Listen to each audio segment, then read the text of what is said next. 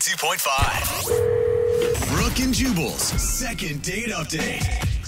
The girl on the phone for a second date update today is obviously really disappointed that she's not getting a call back because she got wined and dined on her first date. I'm talking like a tour of the world, basically. She got to go to Italy at this restaurant called Sbarro.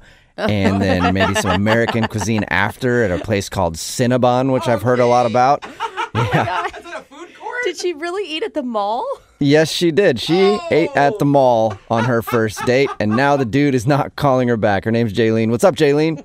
Hey guys. Okay, wait. Hey. You don't sound 14, so I'm confused. No, I'm not.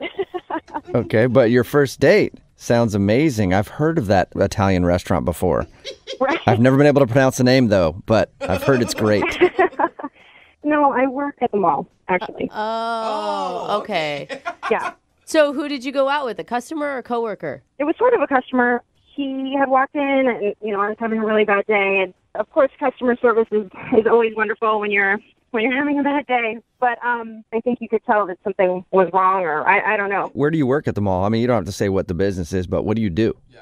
I work at a kiosk.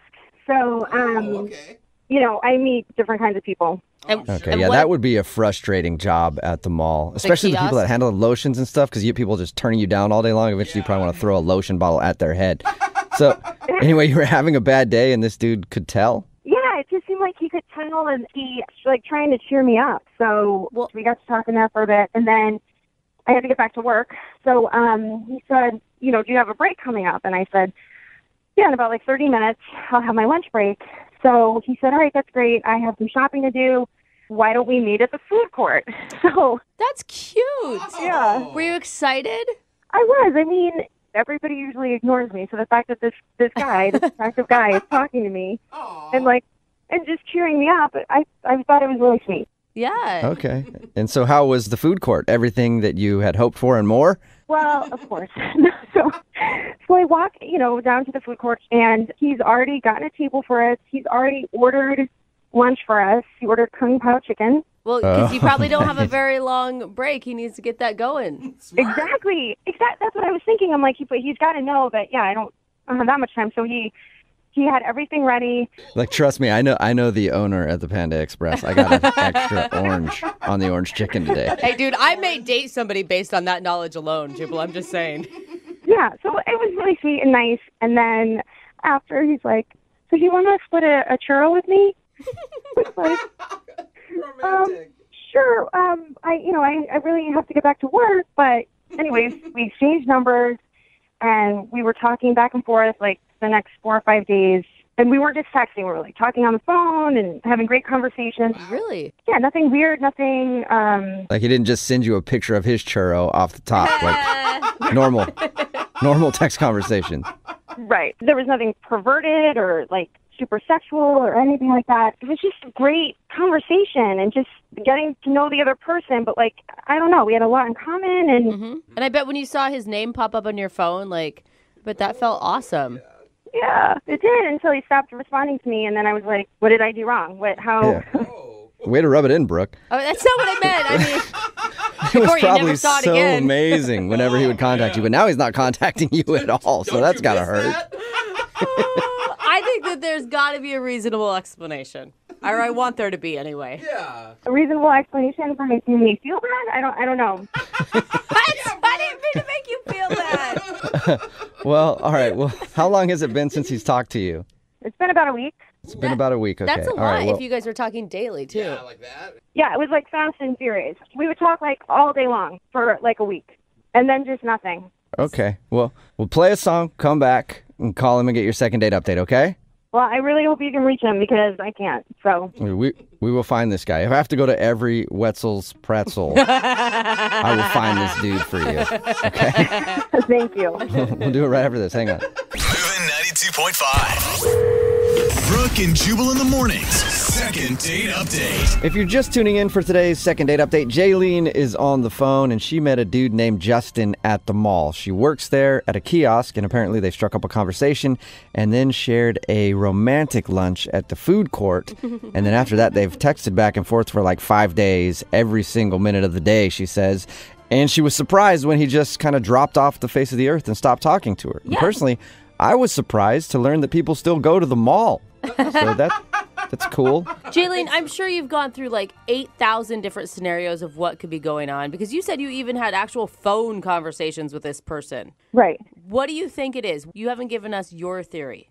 I don't know. I've been racking my brain about this. Like he's married or something. I mean, I don't, I See, don't know. that's where I went too. Really? Where I Yep. went in my head. You're in a Come on. relationship. Maybe. Seen a ring. No, because she hasn't seen his house. She hasn't seen his car. Like she's seen no proof of his personal life. But he didn't try and hook up with me, so I don't get it. I mean, hmm. it's not like we, you know, hooked up the first night we met and then that's all he wanted. I don't know why you would talk to me every day for a week and then just Maybe maybe he's a time traveler.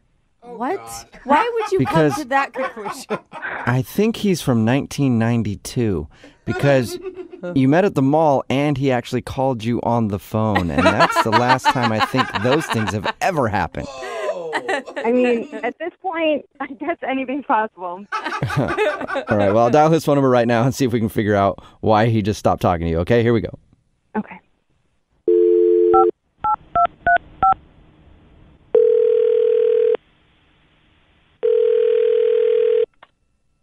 Hello.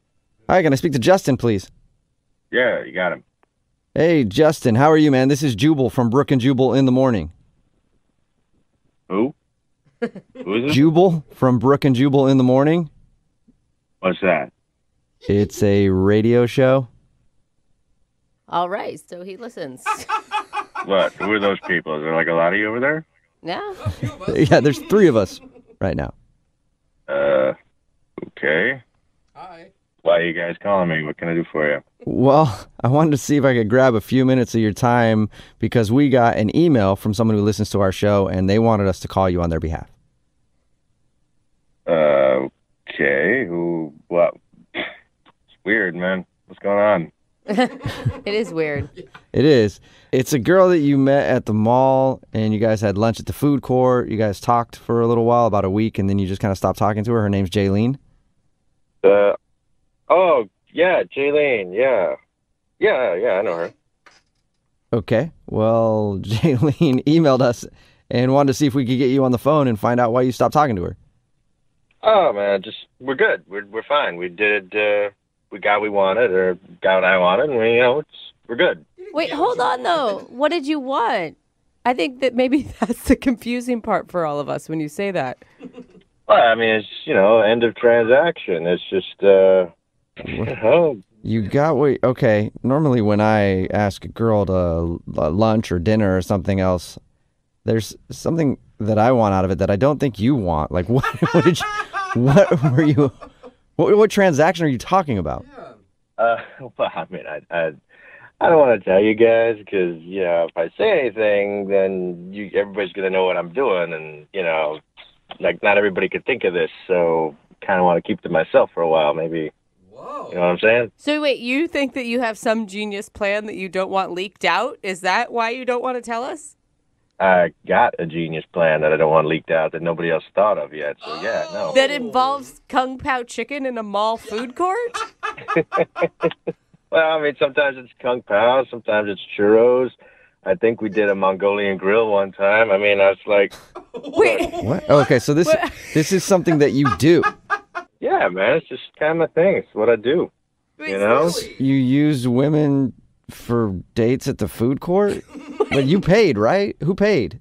So I paid, man. It's all part of it. So what the? what's part of it? I thought you had. I mean, from what Jaylene told us, you guys had a nice connection. You had good conversation on the phone, and you had a quick date in the mall food court that ended in a churro. Yeah, that's all correct. That's how it went down. Can you think of a better plan? Well, you keep sounding so sleazy about it, like, "Hey, I got what I wanted," but I still don't see what you wanted out of it. Do you, do you just not like to eat alone at the food court? Like you feel bad about that or something? All right, all right. Here's the deal. You guys ready for this? Yeah. Yes, very. All right. I only date girls from cell phone providers because that way you can get all those discounts and those special deals. What? What? Like for cell phones, man. I mean, I only date girls from mall kiosks, man, because like the easy, they always say yes. You just take them up to the food court. It costs like fifteen bucks for whatever, and then you get this nine hundred dollar phone discount. I mean, I've dated three T-Mobiles. I've dated two Verizons. uh, at least a half a dozen Sprints. Oh Uh, my I mean, those-. There was one Boost Mobile ended kind of badly, but like you get all the special deals and like some, so like I get plenty of lines from a crew and like all my Christmas shopping is always done and I get the newest. I like having the new stuff because you know I got you know I got my rep to maintain, so I like having that stuff. And they, some of these companies they'll pay you to switch. They give you hundreds of dollars just to to switch. switch. So like if I gotta pay fifteen bucks to feed the chick, that's worth it, man. Oh, it's an I'm so conflicted right now because I really like that you're like using the cell phone companies because I hate them, but I don't want you to use a woman to do that. Yeah, she lied to you. well, I don't just use one. I I, I spread it out. yeah, No, women, not- plural, I guess. that's not what Which, she did she give you a deal on a phone? Because she didn't mention anything about that. Well, I mean, it didn't happen right away. Like, I, not after we had lunch at the food court. So I had to, you know, it took a couple of days, like talking to her on the phone. But eventually, yeah. Oh my god. Hey, what the f- is going on? Oh. Wait, wait, who's that? Hello? Mm-hmm. Oh, that's Jaylene, Justin. She's on the other line and wants to talk to you. Yeah. What? Yeah, I'm here and I've heard every single thing that you said, and I I, oh. I could get in a lot of trouble giving you those discounts. So thanks. Oh, Awesome. so you did give him one. Yeah, I gave him one, but I didn't know he was using me. I mean, Oh. it's not like I gave it to him right away. Yeah, and Yeah, that's at least you didn't a give it up right away. Like a lot of, a lot of women, they'll give it up right after the food court. But apparently, you made him wait a couple days. That's good. Dude, we're laughing, but that's messed up, Jaylene. I'd be pissed if I were you too, man. I am pissed off. I don't know what I don't even I don't even know what to do right now. Look, I didn't use you. I, I bought you lunch. I give Oh a my little, God. You give a little. Not a big deal. You're taking this way too seriously. I wish that you would talk to me like this when you talk to me every single day, multiple times a day on the phone, because you sound like a douchebag. Oh. And Yeah. I really wish this guy had been on the phone with me instead of whoever else you were playing. Yeah, I don't really take life advice from people that work at kiosks. Oh, Wait, damn. so we should You take what, life. You know what though? I don't take advice from guys that can't pay for their own cell phone bill instead of using girls to, to get discounts because they want an upgrade. Just buy the phone. Just work hard, buy the phone with your own money. That's disgusting. Amen, Jaylene. I don't got to, sweetheart. It's called using your head. Oh my God, you're. You know what? You disgust me. And you know what? The kung pao chicken that you got me was actually cold too. So Oh, cold chicken. Well, you still ate it, and you gave me the discount, so I'm happy. I think I know the answer to this, but yeah. Um, hey, Justin, would you want to go out with Jaylene again on a second date? We'll pay for it. I know you like free stuff, so get hooked up there. Well, if she's still working at the kiosk, yeah, we can talk about maybe getting me a free upgrade. Oh my gosh, you don't stop, do you? obviously you're not that smart because I can go in and cancel your service anytime I want. Oh. And you're an idiot because I can report you too. All right, listen, honey, you ain't gonna do that because if you do, I'm gonna tell your manager that you gave me the discount, and you're gonna get in trouble and probably lose your job. Oh great. So now you're like blackmailing her or something. Oh. That's you're classy. Ah, I don't blackmail people. I I'm just saying there's a lot more kiosks where that came from, you know. I think that's a risk I'm willing to take, Justin. I think Uh oh. I think that's a a, a risk I'm willing to take. Oh my God, Jaylene, don't even put any more energy into this dude. No, f- him. He can prepare to have his service canceled at noon today. Oh, dang. That is a lot of power. Yeah, I'm still confused. Do you guys not want to go out, or do you want to go out? Nobody ever answered my question. Um, I'm good. I'm all set. I do not need any more kung pao chicken. Thank you. Oh, man. All right. Well, I guess enjoy your cell service while you have it, Justin. Yeah, I gotta go to the mall again today then.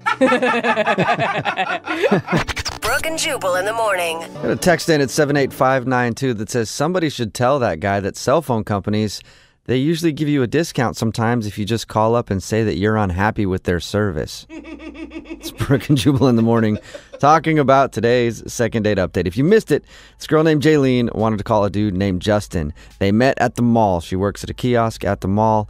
And on that same day, he was like, Where'd your break? And she said when her break was. And then they met at the food court and shared some food, had a romantic time outside of Panda mm. Express and all the other great establishments that the food court has to offer. And then they even talked on the phone for like a week, and then he just kind of went away. He stopped. He ta- stopped talking to her. We got him on the phone and found out why. Apparently, this is what he does. He goes to the mall, meets a girl that works at a cell phone kiosk, wines and dines her. And by wines and dines, I mean goes get like a Diet mm-hmm. Coke and a Cinnabon. And then he convinces them to give him a discount on cell phone service. That's his thing. He's so proud of his thing. That was what's odd to me. Like, aren't you kind of sad that you just can't, I don't know, pay for your cell phone coverage? No, to him, he's a genius. He's smart. Yeah, he- and- He didn't even want to tell us. He's like, I don't want you guys, I don't want people knowing my tricks. Yeah, it's like, uh, dude, I don't know, like maybe get a job. Yeah. Not that impressive. I mean, No. You know, it's always kind of wrong when you use somebody for something, but like people who are getting like cars and boats and trips around the world and things like that, pretty cool. But uh, just getting a new phone, not necessarily that cool. And he's not even getting them for free, I don't think. He's just getting a deal. Yeah. He's getting like an upgrade, like like a cheap upgrade. Yeah, he's still spending hundreds, I bet. Oh, man, Remember- but she threw in a free case. Uh-oh, That's true. That's how they They- get you. They decided not to go out again. Remember, if you want to do a second date update, all you have to do is email the show and we will call the person who didn't call you back.